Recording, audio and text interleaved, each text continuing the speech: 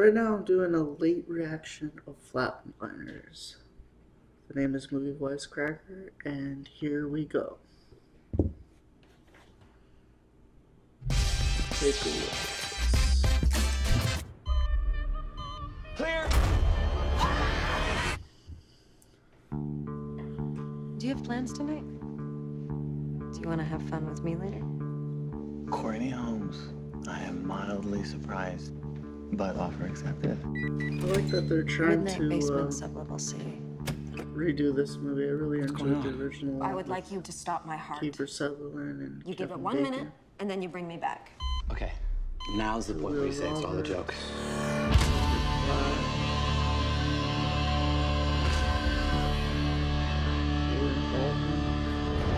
What happens to us after we die? The only way to find out is to see for ourselves. We could document that experience. Did you see a white light? It was more like pure energy.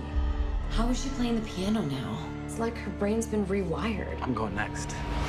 Charging 200. It's a good day to die. Clear? Everyone I touch today, I'm gonna heal. It's an awakening. Three minutes. Jamie only did two. What can I say? We're competitive. I'm going next. Five minutes. Seems Seven minutes. the Original. No one's ever come back from that.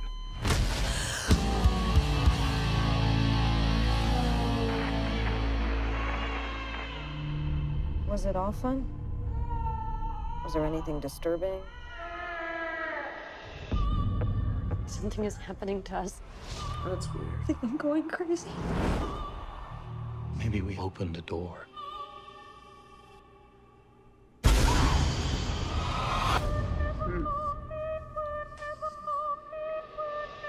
Something is coming for us. Something I did. Something I did.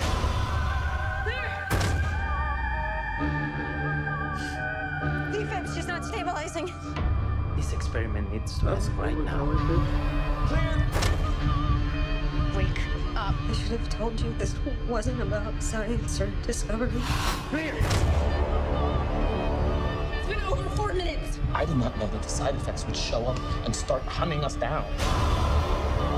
This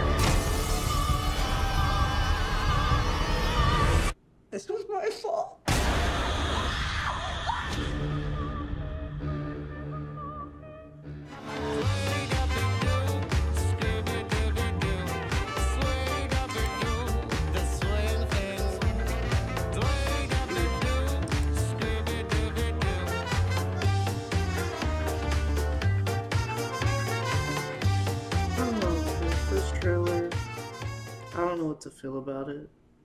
Like, can't really judge it just on the trailer alone, but I'm open to seeing this just because I like the original one. Hopefully, this does good. Like, they're going for a different approach, I see, like but feels like they could go a little bit darker with their horror scenes.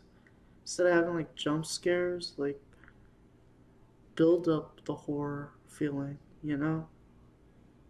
Don't just keep putting jump scares in each scene like I just hope it's not like one of those movies where it just has constant jump scares, but from the trailer alone, it looks like it, it's going to be a pretty decent film. But I can't just judge it on this trailer alone. I'd, I'd have to see the next trailer of it after this one. Well, I'm going to move on to the next trailer in my next video. So, this is Movie Wisecracker. Please like or subscribe if you want. If you don't, then I'm not worried about it.